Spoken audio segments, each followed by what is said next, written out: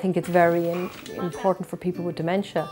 You know, palliative care sounds like it's the last days or weeks, but actually from the get-go, when you have dementia, or when you have Alzheimer's, sorry, you know it's going to kill you.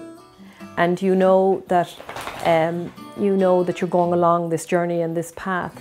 So for somebody to know the person well um, and knows for me, it's important then, you know, to communicate when they can communicate with things that are important to them, you know, um, whether they want to stay at home or whether they want to, you know, I heard of a lady recently who has, I think she has four boys and, and she has written a list saying, you know, um, never put me in a tracksuit. Um, my hair gets cut every four weeks, you know, things like this. And some people will go, well, you know, they're stupid little things. No, they're not stupid little things. They're, they're important to that person.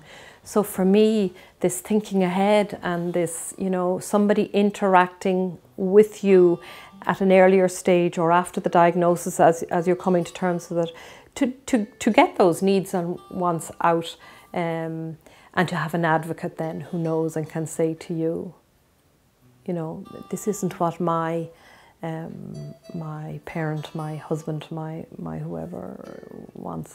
Um, I think that's hugely important. Not always a nice topic to go into, but um, I know having done uh, be, you know, looked at the forms and that they've taken me time and some bits are hard to go there with and, and hard to answer, but I certainly have found it incredibly helpful to, to, to, to get down right across the board, mentally, physically. For me, part would be how important my faith is into me.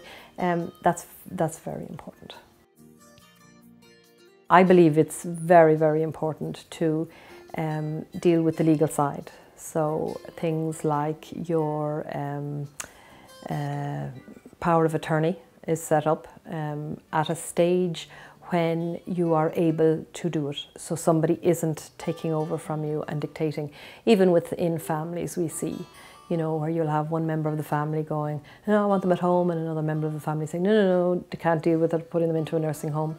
Um, they're all incredibly important that you do them at an earlier stage while you're still able to um, speak your needs and your wants. Um, I know certainly um, the um, Irish Hospice Foundation, the Alzheimer's Society of Ireland would have a lot of literature and will talk you through and help you and guidepost and sign you to um, doing them. I think a living will is very important and and putting down as basic well, you know, if, if if you don't want to be dressed in, in, in tracksuit, if you don't want to be um, resuscitated, you know, down the down down the line, and um, even things of how you want to be buried, where you want to be buried. Um, tough things while you're still alive and living, and you're you're young, um, but better done early. It saves the family in, um, I suppose, a very emotional stages um, where they have to make decisions, and you won't always have the family choosing the one decision or, you know, mom or dad wanted this or wanted that.